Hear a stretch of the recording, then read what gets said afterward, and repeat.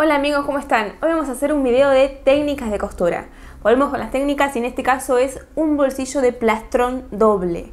Es un bolsillo que no se usa mucho, pero que en realidad queda muy bonito y es muy fácil de hacer. Así que si quieren saber cómo se hace paso a paso, sigan viendo este video.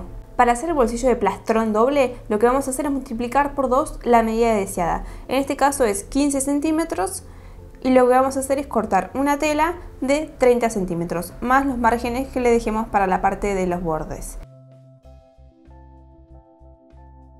Lo planchamos por acá y vamos a ponerle alfileres en todo el contorno.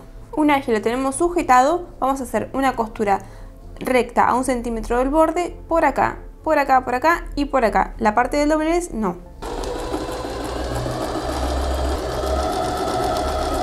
Ahora vamos a hacer un corte en cada esquina para sacar el excedente que no haga bulto.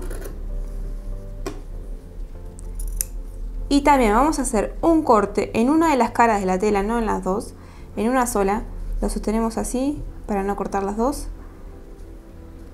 Y cerca del margen vamos a hacer un cortecito.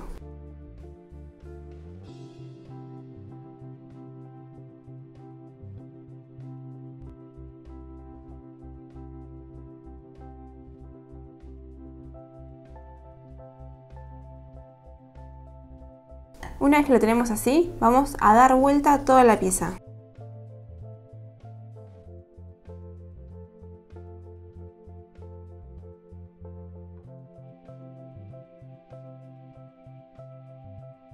Por el mismo huequito introducimos la tijera o algún objeto en punta para sacar bien todas las puntitas del bolsillo. Una vez que lo tenemos así lo vamos a planchar muy bien.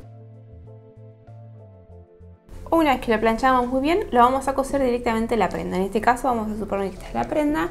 Lo que vamos a hacer es ponerle alfileres por todo el contorno. Sujetando el bolsillo con la prenda. Lo ponemos de esta manera, así después lo vamos a coser directamente, sin sacarle los alfileres.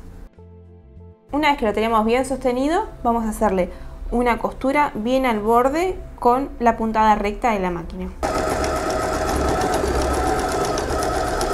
Ya lo tenemos bien cosido. Como bien el detalle que tiene este tipo de bolsillo es que la parte de acá donde se introduce la mano o los objetos está la tela doble y queda muy bien, queda muy prolijo. Como vieron es muy fácil de hacer, son pasos simples para cualquier principiante, para avanzado, para quien quiera coser.